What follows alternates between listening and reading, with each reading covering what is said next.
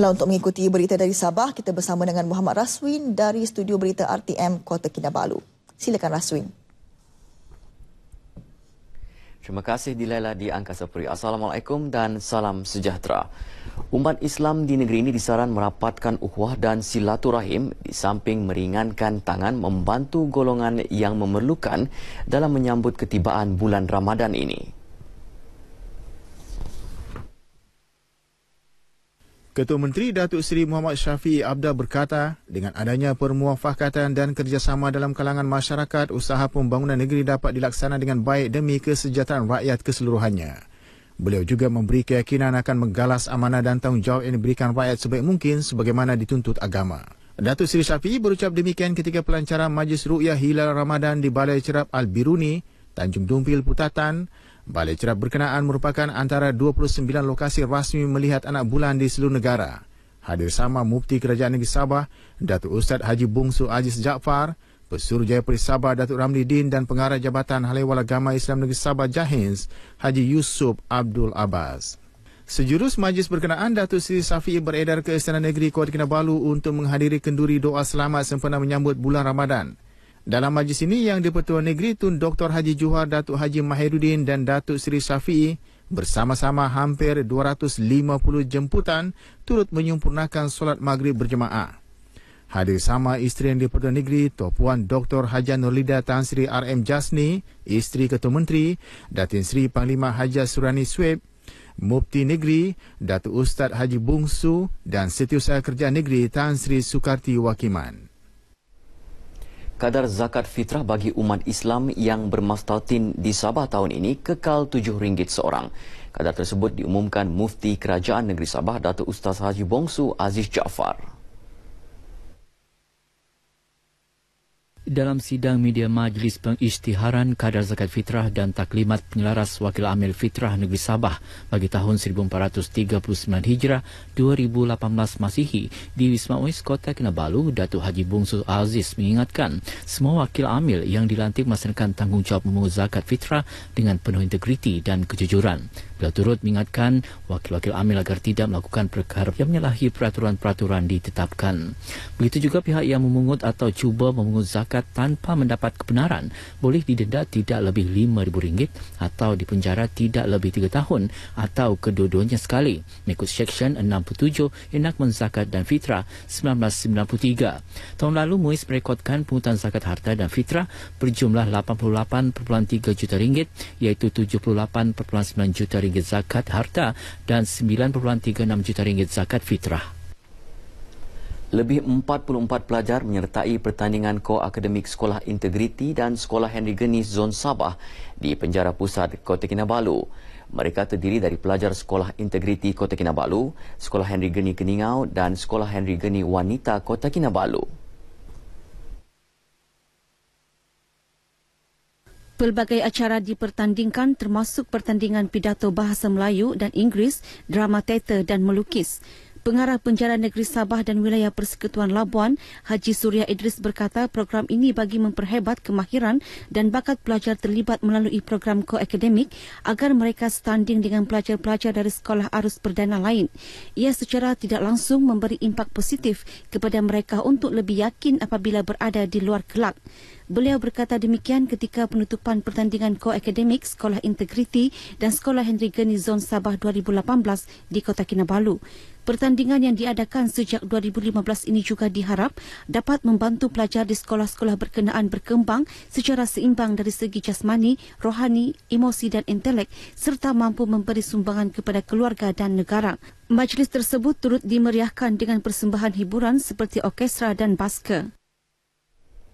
Pengeluaran tanaman halia khususnya di negeri ini dijangka dapat ditingkatkan menerusi penggunaan teknologi kultur tisu dan sistem vertigasi. Kedua-dua kaedah tersebut juga dikatakan mampu meningkatkan kualiti halia. Menurut Ketua Pegawai Institut Bioteknologi Kebangsaan Malaysia NIBM Azman Razak, penggunaan teknologi kultur tisu dan sistem fertigasi dapat menjaga kualiti sekaligus meningkatkan pengeluaran tanaman halia berbanding kaedah konvensional. Jelasnya penanaman halia secara konvensional iaitu di atas tanah boleh menyebabkan tanaman berkenaan terdedah dengan penyakit bawaan tanah sekaligus menjejaskan kualiti dan pengeluarannya. Di kawasan sekitarnya biasanya kita kita uh, didedahkan dengan penanaman halia secara di atas tanah sahaja. Uh, tetapi dengan menggunakan sistem fertigasi serta uh, tisu kultur ini uh, memang uh, kita dapat menjana kekayaan dan juga memacu pertumbuhan. Beliau ditemui pemberita selepas merasmikan Majlis Penyerahan Fasiliti Lengkap Nursery Halia dan Bengkel Inovasi Sosial 2018 Teknologi Kultur Tisu dan Sistem Fertigasi di Plot Percubaan Tanaman Halia Koperasi Pembangunan Desa KPD di Kampung Binawong, Keningau. Sementara itu, Timbalan Pengurus Besar KPD Bahagian Pembangunan dan Operasi Jamila Lee berkata, pengeluaran Halia di Sabah pernah mencapai 4,289.8 tan metrik pada 2009 namun merosot kepada 1,507 tan metrik pada 2010 dan 638 tan metrik pada tahun berikutnya akibat jangkitan penyakit bawaan tanah pada 2009. Beliau optimis pengeluaran bibit menerusi teknologi kultur tisu dan penanaman halia secara fertigasi dapat membantu penanam halia mendapatkan bibit bebas penyakit bawaan tanah. Bagi peserta, peluang mengikuti bengkel ini dimanfaat sepenuhnya untuk mempelajari teknik yang betul bagi kedua-dua kaedah teknologi. Dengan kursus ini kami harap um, kami dapat lagi lebih tahu uh, tentang uh, teknik-teknik penanaman seperti penanaman petigasi dan sebagainya. Halia selalu ada ulat tapi kami tidak tahu apa sebab dia. Jadi uh, kaedah ini amat membantu uh, karena dia punya bibit telah di apa tuh telah dirawat sebelum ditanam. Seramai 60 peserta terdiri daripada penanam halia daerah Tambunan dan Keningau serta para pelatih Pusat Latihan Pertanian OISKA Lagut Seberang Tenom mengikuti bengkel bertemakan menjana bioekonomi rakyat Sabah melalui pemindahan bioteknologi moden ini. Bersempena dengan ketibaan bulan Ramadan, stesen radio Tawau FM akan menyiarkan rancangan Marhaban Ya Ramadan sepanjang bulan mulia tersebut. Antara pengisiannya bacaan ayat-ayat suci Al-Quran, ceramah dan lagu-lagu nasyid. Ketua Bahagian Rancangan RTM Tawau Norma Haji Tohing yakin rancangan berkenaan akan terus mendapat sambutan menggalakkan sekaligus meningkatkan jumlah pendengar Tawau FM sepanjang bulan Ramadan. Ini berdasarkan maklum balas positif pendengar pada siaran rancangan tersebut sebelum ini. Program Marhaban Ramadan uh, merupakan program tahunan yang dianjurkan oleh RTM Tawau. Dan ini merupakan musim yang kelima dan setiap tahun apabila menjelangnya bulan Ramadan, uh, RTM Tawau menganjurkan program seumpama ini. Ini adalah untuk merapatkan lagi di kalangan kaki tangan RTM Tawau untuk bersama-sama dalam kita uh, mengimarahkan rancangan-rancangan yang diterbitkan menerusi Tawau FM. Beliau menyatakan demikian kepada pemberita di Anjung Tawau FM di Tawau. Dalam pada itu, penerbit Marhaban Ya Ramadan, Muazzahwati Daud dan penyampai Tawau FM Abdullah A. Wahid yakin rancangan ini bukan saja mendapat sambutan dalam kalangan pendengar di Tawau, malah di Kalabakan, Sempurna, Kunak, Lahadatu dan Tungku. Kita ada bacaan ayat-ayat suci Al-Quranul Karim dan uh, untuk tahun ini uh, bacaan uh, tas, uh, disampaikan oleh uh, bekas uh, Korea uh, Negeri Sabah iaitu Ustazah Hajah Khadijah Haji Marzuki.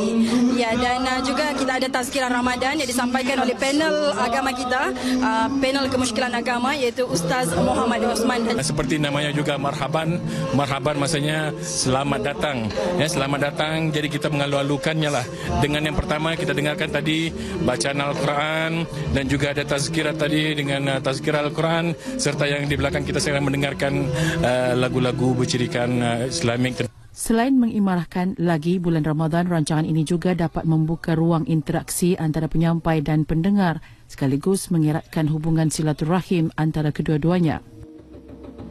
Gerakan NGO Malaysia membuat laporan polis semalam berhubung berita palsu yang tular di media sosial mengenai Ketua Menteri Sabah Datuk Seri Muhammad Syafi Abdal kononnya akan membawa masuk pendatang asing tanpa izin parti seterusnya memberi mereka kewarganegaraan serta maikat.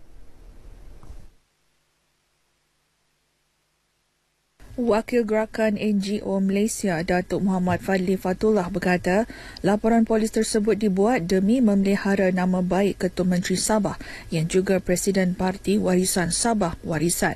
Selain itu, katanya tuduhan palsu yang tular di laman Facebook juga menyebut terdapat iklan perkhidmatan pengurusan pasport asing.